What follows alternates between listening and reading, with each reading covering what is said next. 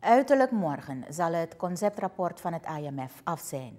Daarna krijgen alle maatschappelijke groepen het rapport in handen om het van adviezen te voorzien.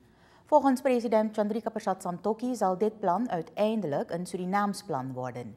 Er is eerder veel kritiek geuit, vooral vanuit de vakbeweging, dat er onvoldoende transparantie aan de dag wordt gelegd door de regering over het IMF-plan. Maar volgens het staatshoofd heeft de vakbeweging voor haar beurt gesproken.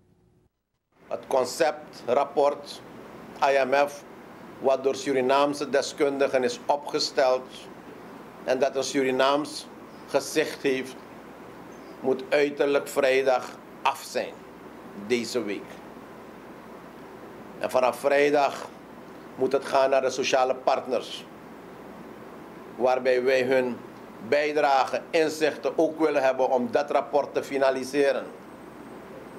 Om uiteindelijk ook naar het parlement te gaan. Om uiteindelijk dit te finaliseren met het IMF. Maar dat is niet het enige traject. Want dit is wat de discussie is in de samenleving.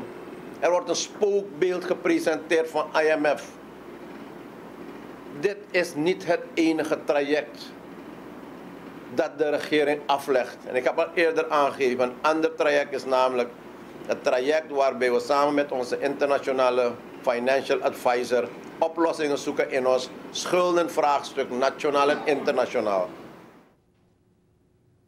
Volgens bestuurskundige August Boldewijn moet dit plan vergeleken worden met het meerjarenontwikkelingsplan, conform artikel 40 van de Grondwet.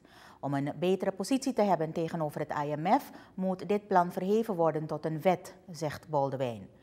Ook hij is van mening dat het een Surinaams programma moet worden met voldoende draagvlak. En uh, de mensen die daaraan zullen moeten werken, dat zijn dus de belanghebbenden uit de vakbeweging, uh, de mensen uit het bedrijfsleven en die overheid zelf. Dus daar moet je voortdurend mee bezig zijn. Dus als men zegt de regering heeft ons niet gekend, dan neem ik de regering toch wel kwalijk, omdat naar het IMF toe je niet met een plan kunt komen zonder dat er behoorlijk draagvlak is. En als dat draagvlak er niet is, vanwege het feit dus dat je vakorganisaties en bedrijfsleven en andere organisaties niet hebt geraadpleegd, ik neem bijvoorbeeld BBGO, die is helemaal niet gekend in deze materie, dan is het een zaak waar je toch nog aan moet gaan werken. Maar ik geloof dat een plan dat wordt voorgelegd aan het Internationale Monetaire Fonds door de Nationale Assemblée moet worden goedgekeurd. Je moet hem vergelijken en gelijkstellen aan dat meerjaren of het ontwikkelingsplan dat conform artikel 40 van de grondwet uh, wordt vastgesteld. En daar, daar heb je dus een heleboel consequenties die je goed moet kunnen overzien. De herstelpositie van de commerciële banken moet ook in het IMF-plan worden opgenomen, vindt Ablin Franchi, voorzitter van de Surinaamse Bankiersvereniging. Vanwege de verschillende devaluaties is de positie van de banken achteruit gegaan. Verwacht wordt dat de regering dat niet uit het oog verliest. Maar als één uh, moet er speciale aandacht uh, worden gegeven aan de financiële positie van de banken. Want in de afgelopen tien jaar hebben banken uh, te maken gehad met uh, zeg maar drie, vier devaluaties. We hadden een munt uh, in 2010 van um, 2,8 en we zijn nu op 14. Dat wil zeggen, de solvabiliteit van banken is enorm verzwakt in de afgelopen periode.